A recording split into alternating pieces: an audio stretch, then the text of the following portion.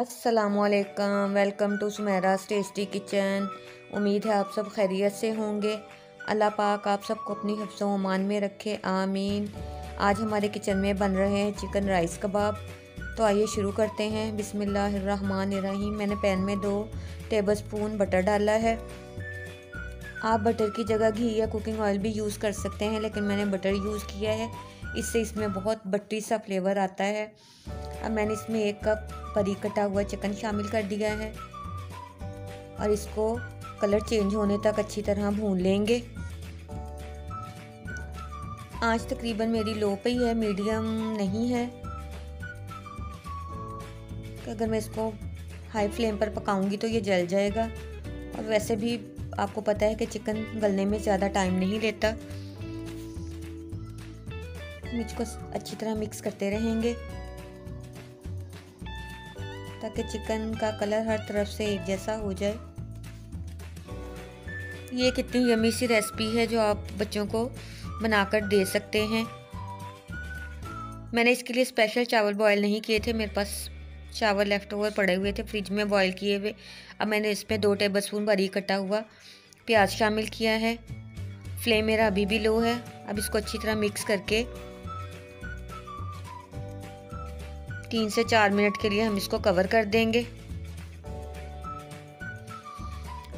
Cover करने का बस यही मकसद है कि प्याज थोड़ा सा सॉफ्ट हो जाए, क्योंकि मैंने इसको बटर में फ्राई नहीं किया। और ये देखें, हमारा प्याज भी सॉफ्ट हो चुका है। अब मैं इसमें एक टीस्पून नमक, एक टीस्पून सुरख मिर्च पाउडर एक टीस्पून अदरक पाउडर और एक टीस्पून लहसुन पाउडर शामिल किया है। अब ये सब मसाले इसमें डालकर इसको अच्छी तरह भून लेंगे।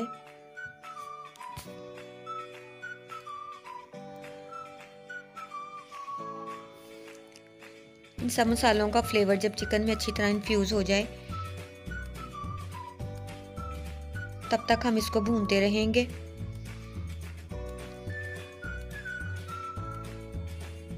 चिकन को अच्छी तरह भूनने के बाद मैं इसको फिर दोबारा तीन से चार मिनट के लिए कवर करके पकाने के लिए रख दूँगी। और ये अब तकरीबन हमारा चिकन कुक हो चुका है। ये देखें चम्मच के साथ ही ये टूट रहा है। एक मिनट फिर हम इसको अच्छी तरह भून लेंगे। और इसमें थोड़ी सी बाकी चीज़ें शामिल करेंगे जिसमें ती, तीन बड़ी कटी हुई हरी मिर्च थोड़ी सी शिमला मिर्च और थोड़ी सी बंद गोभी है। आप इन चीज़ों की मकदार ज़्यादा भी कर सकते हैं लेकिन मुझे इसमें ये थोड़ी चीज़ों का ही फ्लेवर पसंद है। ये सब चीज़ें डालने के बाद हम इनको फिर अच्छी तरह मिक्स करेंगे। ये सब चीज़ें शामिल करने के बाद आप इसको अच्छी तरह एक दफ़ा फिर भून लें। अगर आपने बच्चों के लिए ये कबाब बनाने हैं तो आप इसमें से सब्ज़ मिर्चें स्किप कर दें।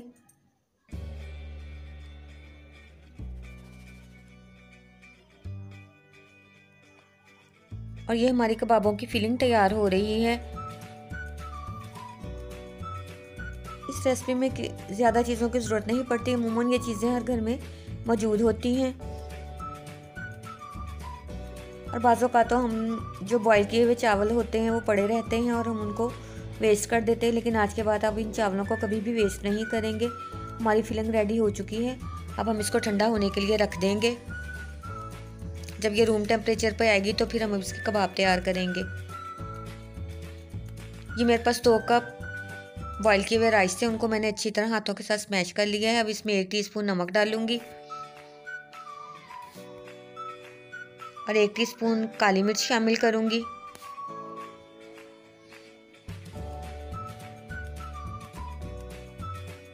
एक अंडा डालेंगे इसमें तोड़ के।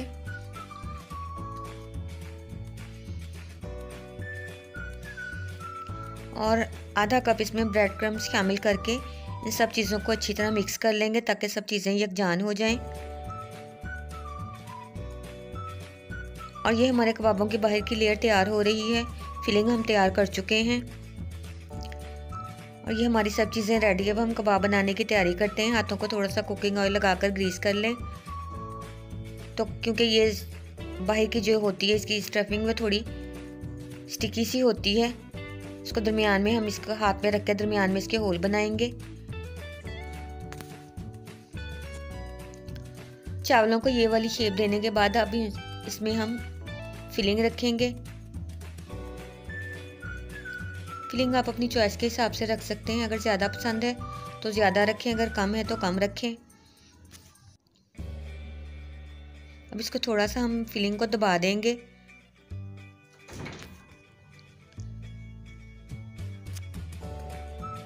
अब मैं इसमें थोड़ी सी फिलिंग में मायोनीज़ ऐड करूँगी। जिससे इसका बहुत मज़े का फ्लेवर आता है। अगर आपको मायोनीज़ नहीं पसंद तो आप इसको स्किप कर सकते हैं, लेकिन मैं तो आपको यही कहूँगी कि आप इसमें मायोनीज़ ज़रूर शामिल करें। और बस इसको केयरफुली ज़रा हैंडल करना पड़ता है फिलिंग को। को थोड़ा सा दबाकर आराम आराम से इसको पहले राउंड शेप में दे दें।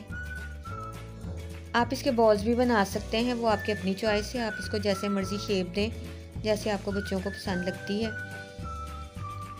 अब मैं इसको चारों तरफ़ से आहिस्ता आहिस्ता प्रेस करके तो अपनी पसंद की शेप दे दूँगी। इसमें मज़ीद किसी और कोटिंग की ज़रूरत नहीं पड़ती, ना ब्रेड क्रम्स की और ना अंडे की, क्योंकि ये दोनों चीज़ें हम पहले ही राइस में शामिल कर चुके हैं। ऑयल हमारा गर्म हो चुका था, मैं इसको फ्राई होने के लिए डाल रही हूँ। और ये हमारे मीडियम फ्लेम पर फ्राई हो रहे हैं कबाब। और इनमें जब एक साइड से गोल्डन ब्राउन कलर आ जाए तो हम इनकी साइड चेंज कर देंगे।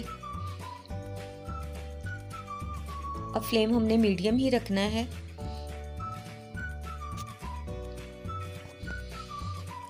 और ये बहुत ही इजी और मज़े की रेसिपी है। आप इसको किसी भी फारिग टाइम में ट्राई कर सकते हैं। और अगर आप इसको बनाकर रखना चाहते हैं तो आप इसको बनाकर फ्रीज़ भी कर सकते हैं। और अगर अचानक घर में मेहमान आ जाएँ तो आप इनको निकाल कर डीप फ्रॉस्ट करें और इनको फ्राई कर लें। और बाज़ों का तो ऐसा भी होता है कि मेहमान घर में आ जाते हैं, लेकिन बाज़ार से कुछ लाने वाला कोई भी घर में नहीं होता इसीलिए। इसलिए आप ये कबाब बनाकर ज़रूर रखें और इसको फ्रीज़ भी करके रख लें। अगर ना भी मेहमान आए तो आप इसको खुद भी घर में चाय के साथ इंजॉय कर सकते हैं। ये देखिए, एक साइड से हमारा कलर आ चुका है। अब हम इसकी साइड चेंज करेंगे और दूसरी साइड से भी इसको गोल्डन ब्राउन होने तक कुक कर लेंगे। और ये रेसिपी रमज़ान में इफ्तार के लिए बेस्ट रेसिपी है। इनको आप बनाकर फ्रीज़ कर लें। और जिस दिन आपका दिल चाहे इफ्तार में चिकन राइस कबाब खाने को तो आप इसको निकालें डीप फ्रॉस्ट करें और फ्राई कर लें। और आप इसको किसी भी चटनी के साथ इंजॉय कर सकते हैं। रमज़ान की चूँकि आमद आमद है, अल्लाह पाक वो मुबारक महीना हम सबके नसीब में करे और हमारी इबादत को कबूल फरमाए। तो इन मैं आप लोगों के साथ रमज़ान की ऐसी बहुत सी रेसिपी शेयर करूँगी, जो क्या बनाकर फ्रीज़ कर सकते हैं और इफ्तारी के टाइम में आप अपने वक़्त की भी बचत कर सकते हैं।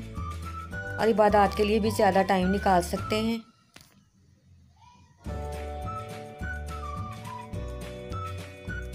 और ये हमारे कबाब दूसरी साइड से भी गोल्डन ब्राउन हो चुके हैं।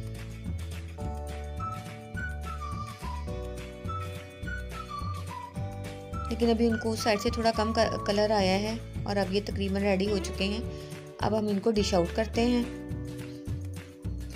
और इसी तरह हम बकाया के कबाब भी तैयार कर लेंगे।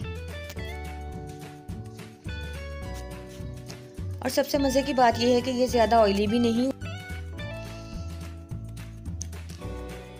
और ये हमारे जो बाद में कबाब डाले थे फ्राई होने के लिए, वो भी रेडी हो चुके हैं।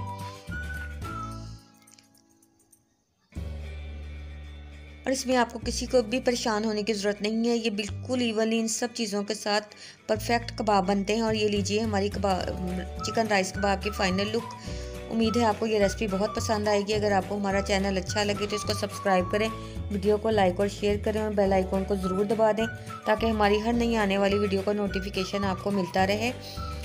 और इन आपसे बहुत जल्द मैं रमज़ान की रेसिपीज़ भी शेयर करूँगी। जो आप बनाकर फ्रीज़ करेंगे अपना ख्याल रखें। अल्लाह हाफिज़।